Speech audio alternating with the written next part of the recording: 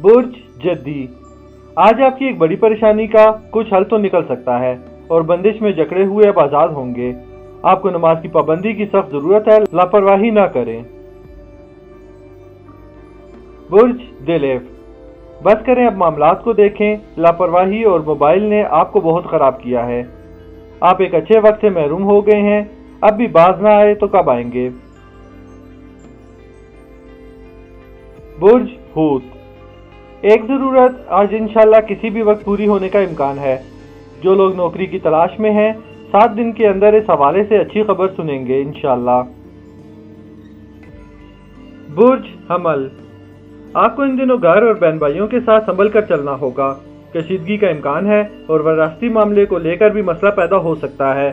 غصہ نہیں کرنا، ورنہ رشتے ٹوٹ سکتے ہیں۔ برج، سور۔ جو لوگ عرصہ دراز سے کسی نئے کام کے بارے میں سوچ رہے تھے، وہ اب خود کو اس کے لیے تیار کر لیں۔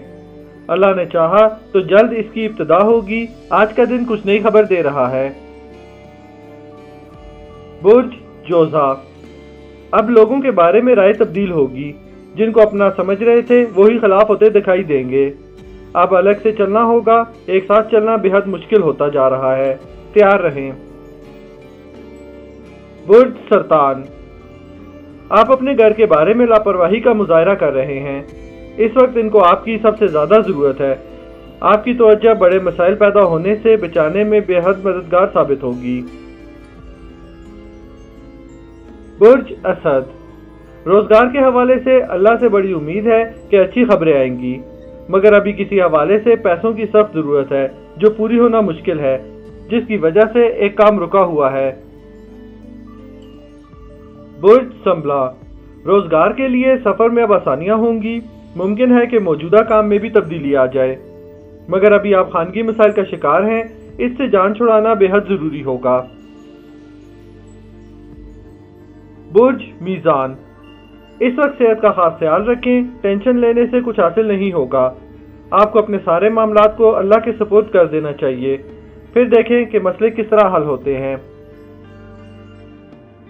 برج اکرب اللہ آپ کی تمام مشکلات آسان فرمائیں، مگر نیت کا عمل سب سے زیادہ ہے۔ اپنے معاملات پر غور کریں، اپنی غلطیوں کا احساس ہو جائے گا اور آپ کی اصلاح سب ٹھیک کر دے گی۔ برج کوس۔ لوگوں کی باتوں میں آ کر فی الحال اپنی پوزیشن کو تبدیل نہ کریں۔ اگر ایسا کیا تو سخت پریشانی میں آ جائیں گے۔ جب ایسا کرنا ہوگا تو صورتحال بھی خود بخود بن جائے گی۔ اگر اب تک آپ نے ہمارا چینل سبسکرائب نہیں کیا تو ہمارے چینل کو سبسکرائب کر کے بیل کے آئیکن کو دبائیں اور روزانہ اپنے آنے والے دن کے بارے میں جانیے۔ ویڈیو کو لائک اور شیئر ضرور کیجیے اور کامنٹس کے ذریعے اپنی رائے کا اظہار کرنا نہ بھولیں۔